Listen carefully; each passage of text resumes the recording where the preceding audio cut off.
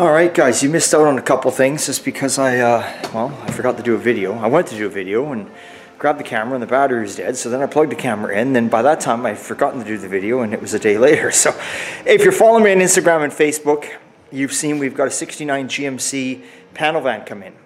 Complete frame off restoration and this thing is a rot box. I'm sorry if the owner's out there watching, but he knows it, it's a rot box. But it's a cool damn vehicle. And what do we fix here? Anything and everything. Give me your pedal car. Give me your baby carriage. Give me your fridge. I don't give a shit. We'll fix it, we'll paint it, away you go. But here we go. We've taken it off the frame. Actually, here's a clump of parts right here. There's more parts outside, but there we go. It's on a cart underneath there. The cherry picker's just in the front, just in case, because she's a little front heavy. But look at this. Like, Mike has cut everything out of here. He's done a fantastic job cutting it out, just looking good. Wood floor back here. Thank God, that saves on some metal work, right?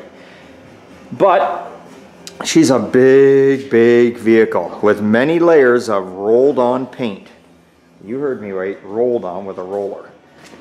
There's hundreds of hours just in bodywork alone. You probably can't tell on here, but this thing is so wavy and so full of orange peel and so full of shit that if a fly landed on it, it would break its own legs.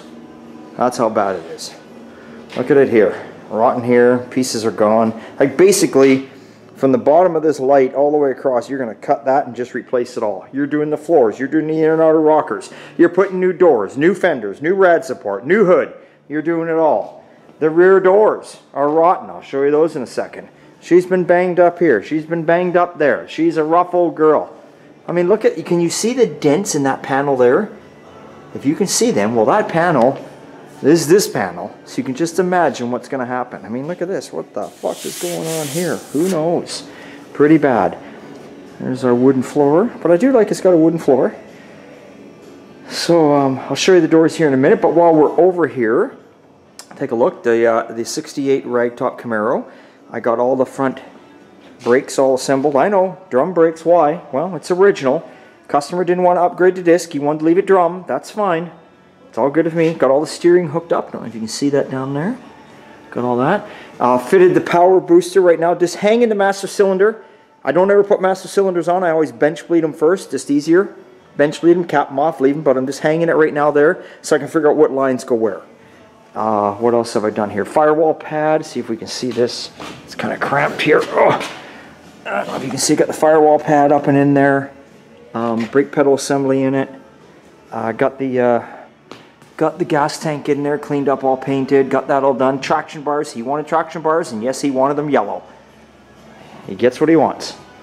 The customer is the boss at the end of the day. They're the ones paying. You got to remember that. Um, so just yeah, just getting stuff put together here on this. Uh, tomorrow I'll get the drums on it. I'll get all the brake lines ran to the front. I'll figure out what goes up to the booster there. And then I can't do the back yet because I had to order backing plates. The diff has not got backing plates on it. So I can't deal with the back brakes. Uh, I do got the gas line kind of hanging here. You can see it's looped in the air here. Got the gas line all ran, taken care of. So when he comes out maybe next week, which is payday, I'll get him to bring all the heater shit, the wipers, get all that cleaned up, get the heater core renewed, get that all mounted in there. And then that's kind of all done, right? Still got to do the body work on this car, but I'm just kind of working on the mechanical aspect of it right now. Um, you remember the, the 69 Camaro now, the one that was a race car. There's some pieces that the that a gentleman had bought.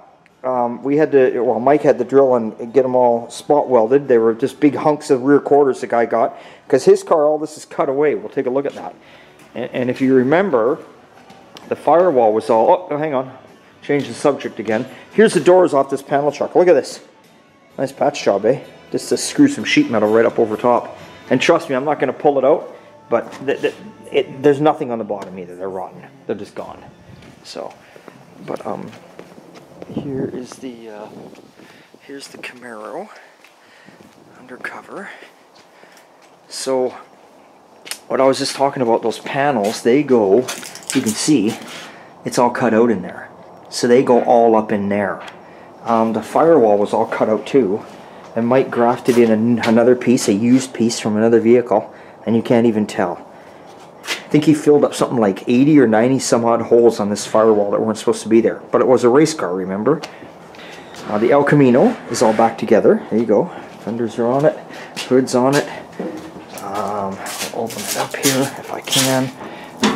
It's pretty. Let me set the camera down here.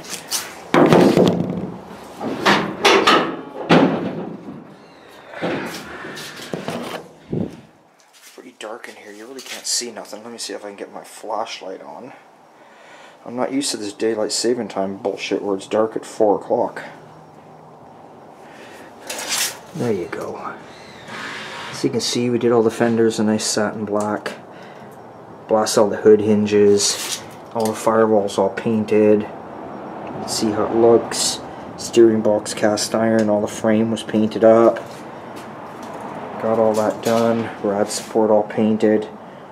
All the headlight buckets painted back in. Everything back together like it should be. Looking really, really good. Okay. So, that is what's happening there. And this is the frame off that big old 69. It needs work too. Look at the frame in the back. Rotten here, rotten and twisted here, all rotten there. But the rest of it's solid. So we're going to put some newer aftermarket suspension and disc brakes and get the rear end all rebuilt and beefed up and that's what's going on there. Here's a truck box. We won't even get onto that about on this video. We'll talk about that some other time. um, yeah. Let's see what's going on.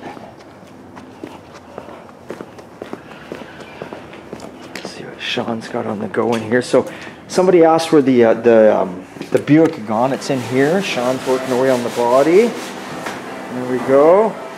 So he's got the uh, he's got the quarters, roughing in the bodywork there, and on the roof and the doors. Not getting into the front yet, just going to kind of get this done, get it in first primer, take a break from it for a while and move on to something else. There you go.